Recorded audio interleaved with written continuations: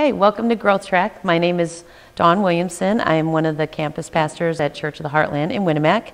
This is Pentateuch 2. This is session one of eight. Uh, my email address, if you have any questions, is godsgarden223 at gmail.com. And if you'd like college credit for this class, go to churchoftheheartland.com, click on the Growth Track page. Um, there's some requirements there and some information. Or if you wanted to just take this class for information, that's great. Um, we're happy that you're here. But let's just open in prayer. Lord Jesus, I just thank you for this time, Lord. I thank you for these people that are here in person, Lord. I thank you for everyone that's online taking these classes.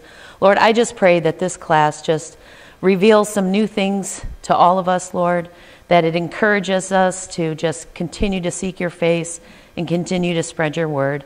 Lord, be with me tonight as you use me. Let every word that comes out of my mouth come from you. In Jesus' name, we all said, Amen. All right, so this is Pentateuch 2.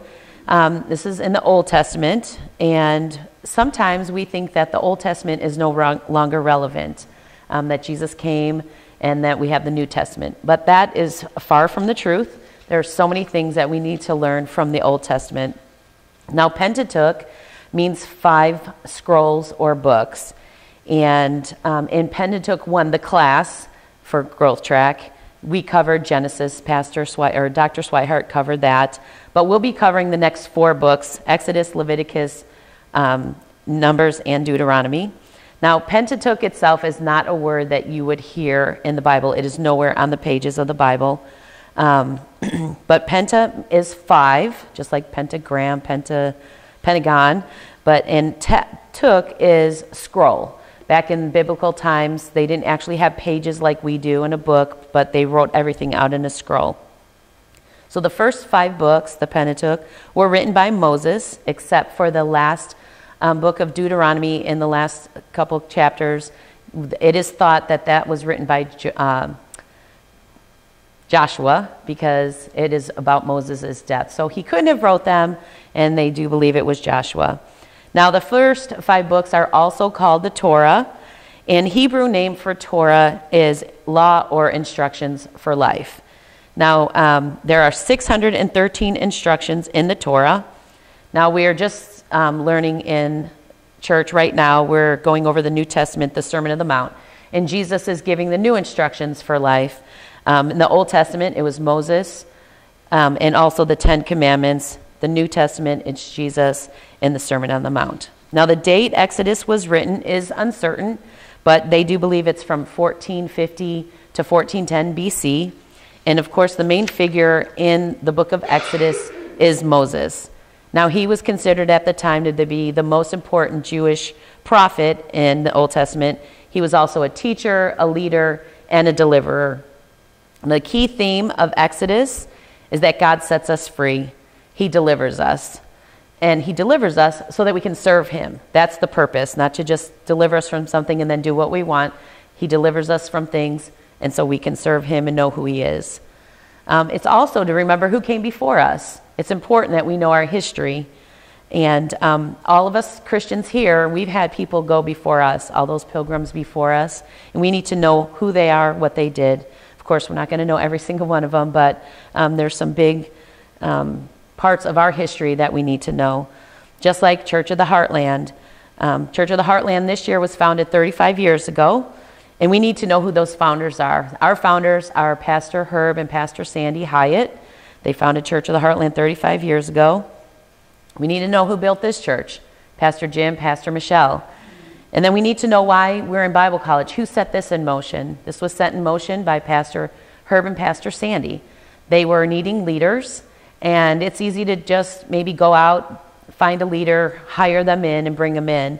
Um, but they wanted to build from inside, to know those people, have relationships. That's why you guys are here, here to build you up so that you can be the leaders, the next leaders. Um, so that's those things are important. Um, and if you ask any one of those pastors, um, they want no glory for themselves. They've done the work, but they give all the glory to God, and that is so important. So we're going to look at some stories, key stories in Exodus. now, the book of Exodus is called the Book of Names by the Jewish rabbis because chapter 1 starts out with the names of the sons of Jacob whose name is also Israel. Now he brought his family, family to Egypt from the famine in Canaan. Now God was going to use the Israelites' experiences in Egypt to prepare them for the special tasks that he had um, for them to accomplish in their own lives. In other words, three main ones. First was to be the witnesses of God, the true living God. They were to see all the miracles, they were to know who he was, and they were to spread that word. Number two, to write the Holy Scriptures. If, they, if Moses wouldn't had wrote these words on a scroll, then we would have myths and legends. Stories would have changed, um, but it's very important that he was to put that, pen that in, in the scrolls. And then thirdly, it was to bring the Savior into the world through their bloodline. They needed to stay alive, they needed to um, produce, reproduce, um, so that the Messiah could be b- born later, years later. Now, Exodus itself has deliverance written all over the pages, and you can't have deliverance if you don't have a deliverer. So in chapter 1, it tells us that the Israelites were filling the land, they were multiplying, and the new king of Egypt, Pharaoh, was getting scared and let fear get the best of him. Now you're going to see Pharaoh's name all through um, Exodus. Well, it's not the same Pharaoh, there was generations, but um, Pharaoh, this new king Pharaoh, he was getting scared. Now the Egyptians were being outnumbered, and the king wanted to make a plan so that that would stop and they would stop growing them. So when fear takes over our lives, we do some pretty foolish things. Um, the Egyptians made their Israelites, the Israelites, their slaves, and they were brutal. They were just terrible to them. It says they worked the people of Israel without mercy. They made their lives bitter and forced them to make bricks and work the fields. They were ruthless. Now, if that wasn't enough, the king, Pharaoh, decided to order the Hebrew midwives to kill all the newborn baby boys um, as soon as they were born.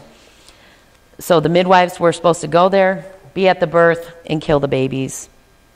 Now, when people um, when people say jealousy kills, this is a prime example. Jealousy not only kills relationships, it kills friendships. Sometimes it actually makes you kill people. And that's exactly what Pharaoh was doing. He was so jealous of the numbers that they had that he was going to stop it. But here's a cool thing the midwives, the Hebrew midwives, they feared the Lord. They feared the Lord more than they were going to obey the king. Now, when the king asked them, like, why aren't you killing these babies? They told him that they were not there in time for the births. Now, this is the first instance in Scripture of what we call today civil disobedience, refusing to obey an evil law because of a higher good. Uh, this is what Romans 5:29 says. When the laws of God are contrary to the laws of man, then we ought to obey God rather, rather than man. Now, some scholars say that the midwives weren't actually lying because you think, well, they lied to the king. But um, some of them say that they actually sent their assistants late so that they couldn't be there in time to do that. Now, God, it says that God blessed those midwives for their faithfulness and gave them babies of their own. And it was a really hard time to have a baby, but He obviously protected them too. He wouldn't have let them have babies and then take them away. so, um, this wasn't going to stop the king he was going to continue to try to kill the newborn boys, and he told everyone to throw the boys into the Nile River to be drowned. Now, that was not just the Hebrew midwives' job, it was all everyone's job, the Egyptians' jobs. So they were to look out for him and they were to kill him. But there was one boy that would be born that Pharaoh could not kill, and that leads to Exodus 2. Now, Moses' parents, they were listed in Hebrews 11 um, in the Hall of Faith because they disobeyed the king's command and hid their boy after he was born. Hebrews 11:23 says this, "It was by faith that Moses' parents hid him for 3 months when he was born. They saw that God had given him an, them an unusual child, and they were not afraid to disobey the king's command." Now Moses had an older sister Miriam and an older brother Aaron. Um, from the very start, Moses was seen to be no ordinary child and it was evident that God had a purpose for him. Exodus 2 2 through 4 says, The woman became pregnant and gave birth to a son. She saw that he was a special baby and kept him hidden for three months.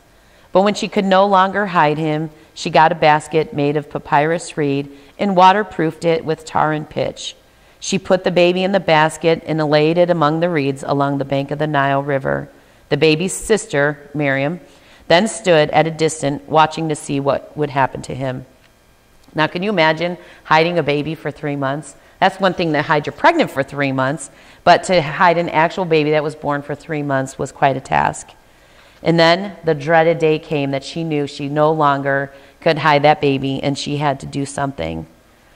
So let's talk about the basket. The basket is so cool. When I first learned this years ago, it was like it excited me. And I hope it, it excites you as well to just be like, there's so much in this Bible that we don't even know. I mean, that's why it's so cool that you're here and just learning. Now, there's a significance in Genesis and here in Exodus. The basket that would hold the deliverer of the Israelite perils, or parallels the, ba- the boat that carried Noah and his family that would save mankind. Now, papyrus reed was very strong, and they were used to make boats. Dried papyrus is four times more buoyant than balsa wood. Now, both the ark and the basket were waterproofed. Now, we think this makes sense, right? You make a boat, you waterproof it, tar and pitch. Why? Because we don't want leaks and we don't want it to sink. But here, this, this is the cool part. Pitch is defined as covering, or the Hebrew translation is atonement. It was covering those, the boat and the basket. Genesis is the first mention of atonement in the Bible with Noah. Genesis 16:4 says, "So make yourself an ark of cypress wood, make rooms in it and coat it with pitch inside and out."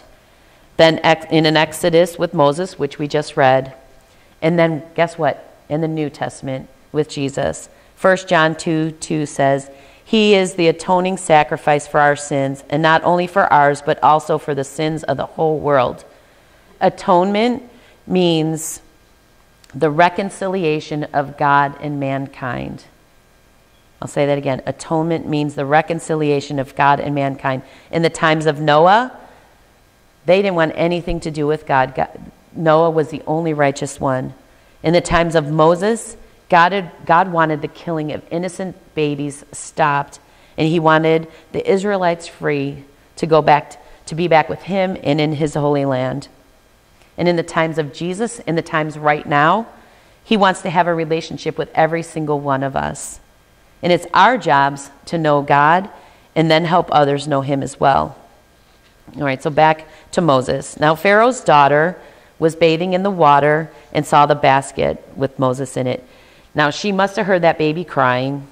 So she got one of her attendants she get the basket, and they, they, she found Moses. Now, she immediately knew that it must be one of the Hebrew babies. So, why didn't she kill him? She was supposed to, especially she was the daughter of the king. And once again, someone went against man's law, knowing they were doing the right thing and not killing that baby. Now, Miriam, Moses' sister, saw this because what is she doing? She was watching the basket. She approached the princess and asked if she wanted her to find a Hebrew woman to feed this baby. Now that was brilliant. She was going to Moses was going to go back to his mom. She was going to get her son back to raise for a while.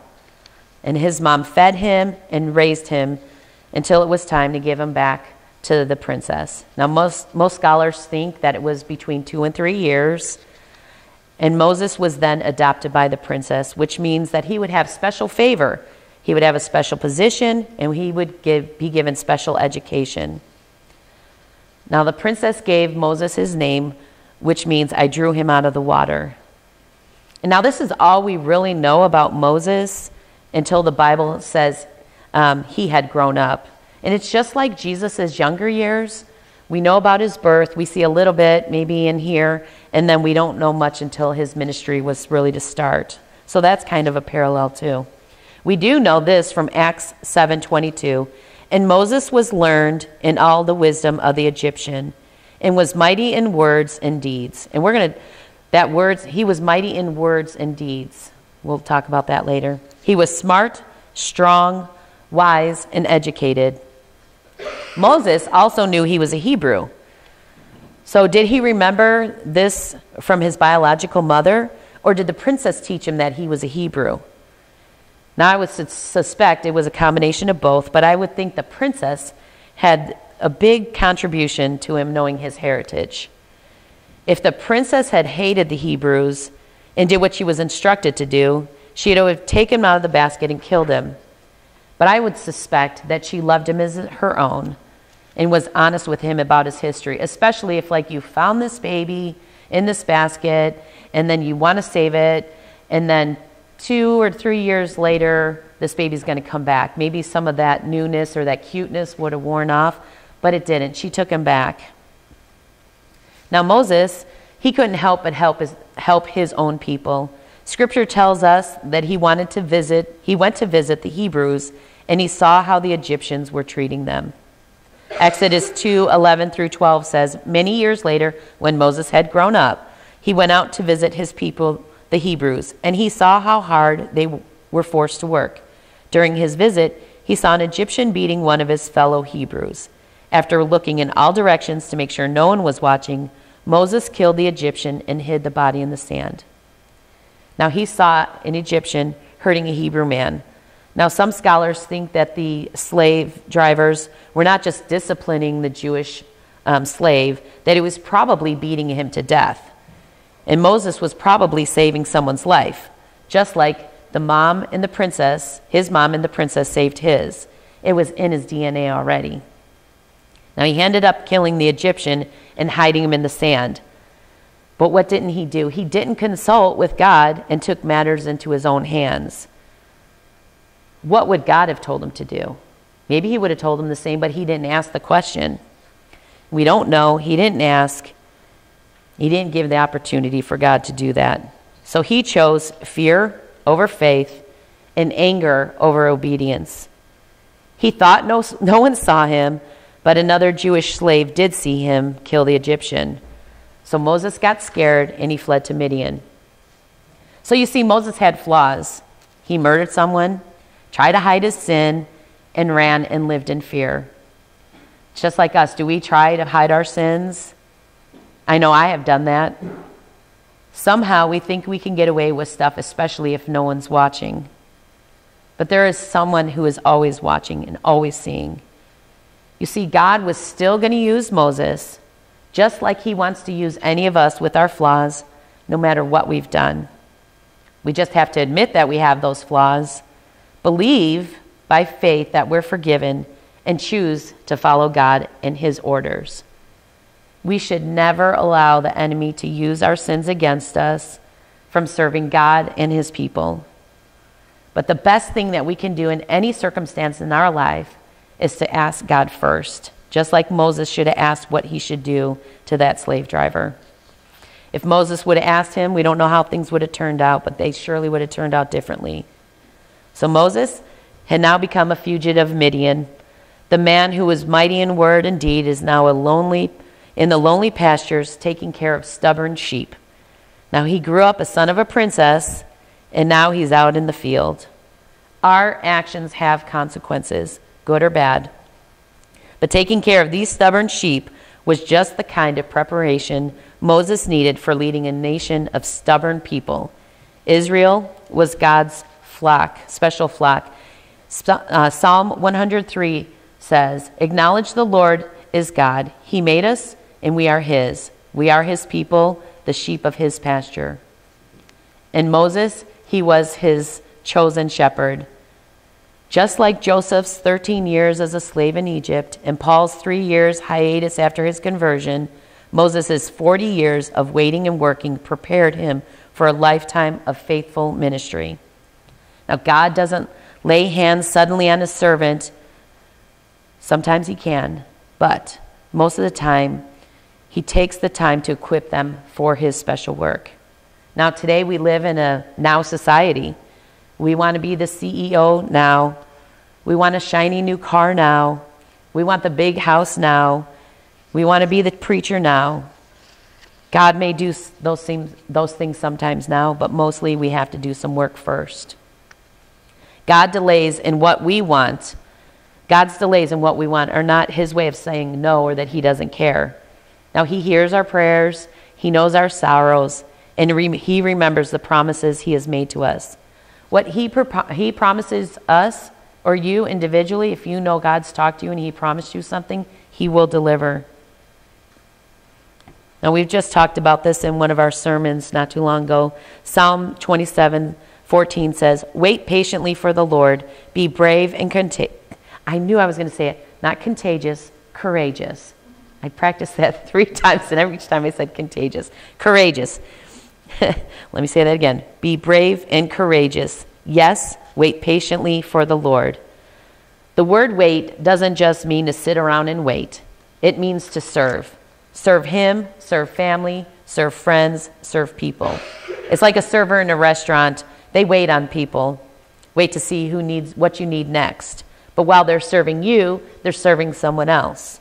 They just don't watch you eat every bite and then be prepared to serve you some more. They're constantly moving and working.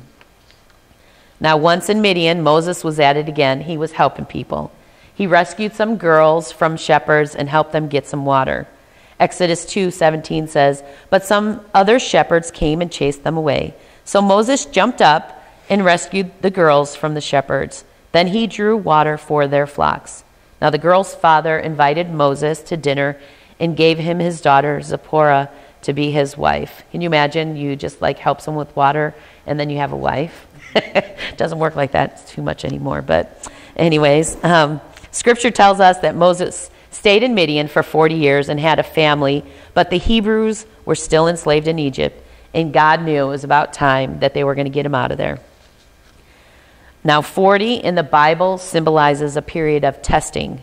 It is mentioned 146 times in scriptures. Names like Moses, Jesus, Jonah, Ezekiel, Elijah, Saul, David, Solomon, they all had reference to 40, whether it was 40 years or 40 days. That brings us to Exodus 3. It's the deliverer is called. Exodus 3 1 through 3 says, One day Moses was tending the flock of his father in law Jethro, the priest of Midian. He led the flock far into the wilderness and came to Sinai, the mountain of God. There the angel of the Lord appeared to him in a blazing fire from the middle of the bush. Moses stared in amazement. Though the bush was engulfed in flames, it didn't burn up. This is amazing, Joseph said to himself. Why isn't this bush burning up? I must go and see it. Now, in verse 1, Here's something important God calls people who are busy. Moses was tending the flocks. Busy. We got to stay busy. Here are some examples Gideon was threshing grain, Samuel was serving in the tabernacle, David was caring for sheep, Elijah was plowing. Four of the disciples, the apostles, were managing their fishing business, and Matthew was collecting taxes. God does not like laziness. In fact, he has a lot to say about idle hands. Here are just a couple of scriptures for you. There's plenty, but I'm just going to give you two. Proverbs 24, 30 through 34 says, I walk by the field of a lazy person. The vineyard of one was no, with no common sense. I saw that it was overgrown with nettles. It was covered with weeds, and its walls were broken down. Then, as I looked and thought about it, I learned this lesson a little extra sleep, a little more slumber, a little folding of the hands to rest, then poverty will pounce on you like a bandit. Scarcity will attack like an armed robber. That one hurt because sometimes I like to sleep. Sometimes I like to have idle hands. So, I don't know, right in the heart. Matthew 25, 26, 27. This is Jesus talking here. He says, But the master replied, You wicked and lazy servant. If you knew I harvested crops I didn't plant and gathered crops I didn't cultivate, why didn't you deposit my money in the bank? At least I would have gotten some interest on it. In verse 3, Moses says, This is amazing. Why isn't this bush burning up? I must go see it. Can you imagine that? Seeing a bush on fire, but nothing's happening? God is intriguing. We should want to get closer to Him, to see His power and the miracles He performs. That bush should have burned up, just like the tongues of fire should have burned the disciples in the upper room. They both saw the power of God and how Moses and the disciples, with God's help, can accomplish anything. With God's help, we can accomplish anything. We can't do anything on our own. In verse 5, he told Moses not to come any closer. Exodus 3 5 through 6 says, Don't, Do not come any closer, the Lord warned. Take off your sandals, for you are standing on holy ground. I am the God of your father the God of Abraham, the God of Isaac, and the God of Jacob. When Moses heard this, he covered his face because he was afraid to look at God. Moses was about to walk on holy ground. Verse 5 shows that God wants to speak to us, and he does speak to us, but we need to take it seriously. If Moses would not have listened to the instructions of God, of the Lord, he would have died. Sometimes I think we lack the reverence, the holy fear of God. Not fear like a scared puppy, but the fear of not obeying. Do you have a fear? Do you have a fear of like maybe going to jail perhaps? I know that's a fear. Um, I have this weird fear of losing my teeth. I have this fear. Ask my husband and my friends, like, I have this weird way of brushing my teeth. I do it because I'm afraid they're going to fall out. I appreciate and respect my teeth. In the same way, it's the same with God. We should not want to um, let Him down. We should have a weird way of respecting God. Not like a weirdo kind of religious way that other people would think's a weird way, but the world should see us different. We shouldn't just blend into the world. We need to show a reverence to Him. In verse 7 through 9, it says, God is getting, Mo- in verse 7 through 9, God is getting Moses ready to go to work for Him. That is the same that you are doing right now. You're getting ready to go work for God. You're in training. Now, you already may be working for God, but there's more that you can do. Like I said before, God calls the ones who are busy. Verse 10 says, um, verse 10 God sends Moses, Now go, for I am sending you to Pharaoh. You must lead my people out of Egypt. This was a huge task. These are God's chosen people, his prized possessions. But what does Moses do? He starts to protest and make excuses why he wasn't equipped, how God should pick someone else to handle the job. And we, see, we need to stop making excuses for ourselves. Moses should have said, Here I am, Lord, send me. Same with us. If you're asked to teach a Bible college class, you say yes. If you're asked to do announcements in church, you say yes. If you're asked to help at kids' camp, you say yes. If you are asked to help with tables and chairs, you say yes. You may be scared, you may be, feel unqualified, you may be intimidated, you may have 17 reasons why to say no, but say yes. Yes to God, yes to calling from the burning bush. Just one more chapter before we take a break. Exodus 4. Moses continues to protest in the calling um, of going to Pharaoh to let the Israelites go free from slavery. Here's how Moses is described in the Wiersbe commentary.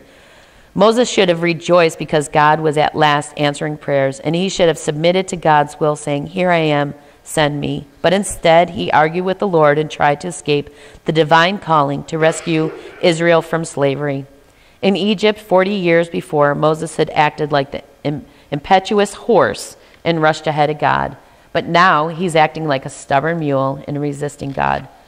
Moses gave five reasons why he couldn't accept God's call. Number one, I'm a nobody. What Moses or we think about ourselves is unimportant. It's what God says about us is what is important. Again, if he calls you to do something, we do it. Second, I don't know your name. Moses was saying, I'm not really sure I know how to describe you. God said, You tell them, I am. Jesus says the same thing about himself in the Gospel of John. He is, He always was, He always will be. We just need to get that into our hearts. Third, the elders won't believe me. When we say that someone won't believe us, it's because we don't believe it ourselves. But God showed Moses miracle after miracle showing his power. And once again, the power that Moses possessed was not his own power, but the power of God. Next one, I'm not a fluent speaker. Moses just didn't get it. And how did it say before? He was, um, he was good in speech, right? Isn't that how it described him? He says, um, Oh Lord, please send someone else to do it. Or I'm sorry, I'm the speaker. Moses just didn't get it. If God could turn rods into serpents and serpents into rods, if he can cause and cure leprosy, if he can turn water into blood, then he can enable Moses to speak his word with power. And lastly, he said, Someone else can do it better. In verse 13, Moses said, Oh Lord, please send someone else to do it. Moses acknowledges that God is the Lord. He said, Oh Lord, but then refuses to obey his orders. Do we do the same? We know, we know the Lord, we claim to know Him, but then when He asks you to step out and help a neighbor or help a family member or make reconciliation with someone, do we do it? Do we think someone else is better qualified? How about the reverse? When, I, when asked to do God's work, do we think we're overqualified?